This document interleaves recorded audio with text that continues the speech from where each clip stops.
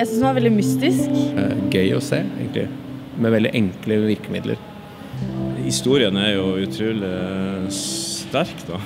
Eh, Jeg likte veldig godt at du ikke visste hvor Knausgård hvem han var hele tiden. Hvordan det hele tiden gikk mellom nåtid og fortid. Og særlig det med å liksom koble det sammen. altså Det ble en slags remix av alt. Alt bare ble flettet sammen underveis. Man fikk et annet perspektiv når alt kom fra samme person. Og så gikk det grådig fort. Så. Jeg syns han gjenskaper veldig godt sånn stemningen i bøkene og liksom den måten han Man hører stemmen hans i forestillingen. Eh, og den gir noe helt annet enn det bildet man har av han i media.